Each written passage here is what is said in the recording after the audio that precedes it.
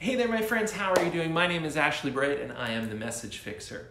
I was watching this video on uh, LinkedIn just the other day, uh, someone I'm connected to who's a CEO, business leader, and they were talking about sort of change management within organizations and how critical it is for the leader of that organization to be leading, to be messaging appropriately to his teams, to his staff, to his salespeople about why this change is necessary and how critical that message that you are sharing is to motivating your teams and getting them to buy in and getting them to do the things that need to happen in order for this change to take place. And so I wanted to put that out there for you entrepreneurs. Your companies are in this early stage, maybe they're evolving, they're maybe a few years in, you've got some staff, you're starting to get the momentum going. But what kind of messages are you sharing within your organization? What does your sales team talk about when they meet with customers? Is it the same thing that you talk about when you meet with investors or you meet with partners? What about when you have people on your team going out to meet with the press? What are they saying?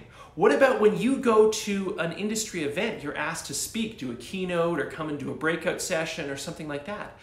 Is the message that you are sharing with that audience the same as the message that your marketing materials are sharing? Is it the same message that the rest of your team is talking about? If it isn't, and I would suspect it probably isn't, then you have a messaging and communications problem.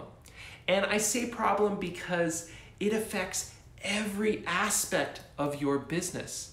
And think about each time you go out and speak with a group of people, each time your sales team goes out and meets with individuals, each time your customer service takes a call, each time you put out a press release, each time you have an investor meeting or a partner meeting, each one of those is an opportunity for you to make money which can you which you can bring into the organization so you can continue to hire the best people you can continue to grow your company improve your product improve your service and have bigger impact and bigger success or each of those is an opportunity where you lose money you don't get money that money does not come into your organization. That money does not help fuel innovation and growth.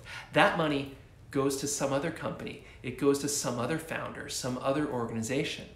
Simply because you, as the leader, didn't recognize the vital, vital role that messaging plays in the success of every aspect of your organization. And so I want to leave you with this thought.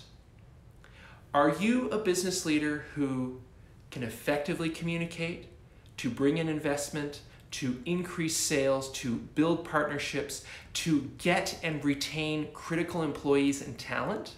Or are you one who can't? It's as simple as that. And there's really only those two kinds people that can communicate effectively and lead their teams to success, and those who can't.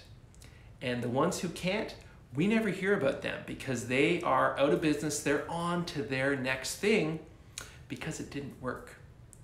So think about that in your business. Think about how you are using messaging.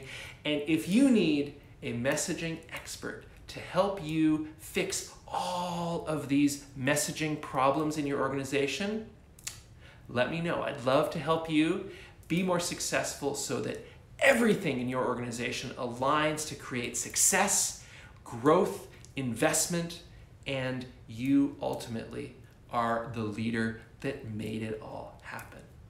All right, my friends. Cheers.